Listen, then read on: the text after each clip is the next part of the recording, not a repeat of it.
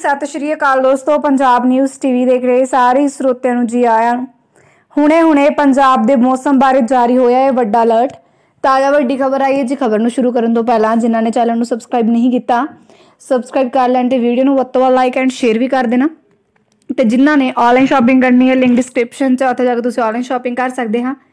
ਪਿਛਲੇ ਕੁਝ ਦਿਨਾਂ ਤੋਂ ਗਰਮੀ ਲਗਾਤਾਰ ਵੱਧ ਰਹੀ ਹੈ, ਜਿਸ ਕਾਰਨ ਆਮ ਲੋਕਾਂ ਨੂੰ ਕਈ ਤਰ੍ਹਾਂ ਦਿੱਕਤਾਂ ਦਾ ਸਾਹਮਣਾ ਕਰਨਾ ਪੈ ਰਿਹਾ ਹੈ। ਉੱਥੇ ਹੁਣ ਮੀਂਹ ਨਾ ਪੈਣ ਕਾਰਨ ਖੇਤੀ ਨਾਲ ਸੰਬੰਧਿਤ ਕਿੱਤੇ ਵੀ ਕਾਫੀ ਜ਼ਿਆਦਾ ਪ੍ਰਭਾਵਿਤ ਹੋ ਰਹੇ ਨੇ। ਦੱਸ ਦਈਏ ਕਿ ਆਏ ਦਿਨ ਲਗਾਤਾਰ ਤਾਪਮਾਨ ਵਿੱਚ ਵਾਧਾ ਹੋ ਰਿਹਾ ਹੈ, ਜਿਸ ਕਾਰਨ ਗਰਮੀ ਸਿਖਰ ਤੇ ਪਹੁੰਚ ਗਈ ਹੈ।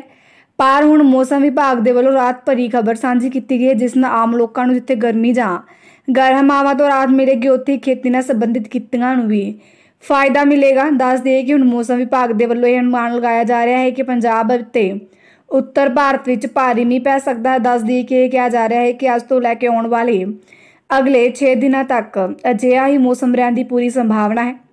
ਪ੍ਰਾਪਤ ਜਾਣਕਾਰੀ ਦੇ ਅਨੁਸਾਰ ਚੰਡੀਗੜ੍ਹ ਨਜ਼ਦੀਕ ਇਲਾਕੇ ਜਿਵੇਂ ਹਰਿਆਣਾ, ਹਿਮਾਚਲ ਪ੍ਰਦੇਸ਼, ਪੰਜਾਬ, ਰਾਜਸਥਾਨ, ਉੱਤਰਾਖੰਡ ਦੇ ਪੂਰਬੀ ਇਲਾਕਿਆਂ ਵਿੱਚ ਤੇਜ਼ ਮੀਂਹ ਹੋਣ ਦੀ ਸੰਭਾਵਨਾ ਜਤਾਈ ਜਾ ਰਹੀ ਹੈ। ਦੱਸ ਦਈਏ ਕਿ ਕੁਝ ਦਿਨ ਪਹਿਲਾਂ ਭਾਰਤੀ ਮੌਸਮ ਵਿਭਾਗ ਨੇ ਇਹ ਜਾਣਕਾਰੀ ਸਾਂਝੀ ਕਰਦੇ ਹੋਏ ਕਿਹਾ ਸੀ ਕਿ ਦੱਖਣ ਪੱਛਮੀ ਮੌਨਸੂਨ ਨੇ ਮੁੜ ਸਰਗਰਮ ਹੋਣ ਤੋਂ ਕਾਰਨ ਇਹ ਸੰਭਾਵਨਾ ਜਤਾਈ ਹੈ ਕਿ ਉੱਤਰੀ ਖੇਤਰ ਅਤੇ ਦੇਸ਼ ਦੇ ਹੋਰ ਕਈ ਹਿੱਸਿਆਂ ਵਿੱਚ ਅਗਲੇ ਪੂਰੀ ਹਫ਼ਤੇ ਯਾਨੀ ਕਿ ਅਗਲੇ ਆਉਣ ਵਾਲੇ 6 ਜਾਂ 7 ਦਿਨਾਂ ਤੱਕ ਤੇਜ਼ ਹਵਾਵਾਂ ਤੇ ਭਾਰੀ ਮੀਂਹ ਰਹੇਗਾ।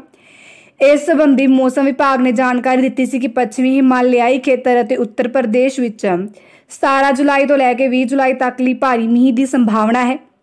ਇਸ ਤੋਂ ਇਲਾਵਾ ਉਹਨਾਂ ਦੱਸਿਆ ਸੀ ਕਿ 18 ਜੁਲਾਈ ਤੋਂ ਲੈ ਕੇ 20 ਜੁਲਾਈ ਤੱਕ ਲਈ ਪੰਜਾਬ, ਪੂਰਬੀ ਰਾਜਸਥਾਨ, ਹਰਿਆਣਾ ਅਤੇ ਉੱਤਰ ਮੱਧ ਪ੍ਰਦੇਸ਼ ਵਿੱਚ ਤੇਜ਼ ਮੀਂਹ ਪੈਣ ਦੀ ਸੰਭਾਵਨਾ ਹੈ।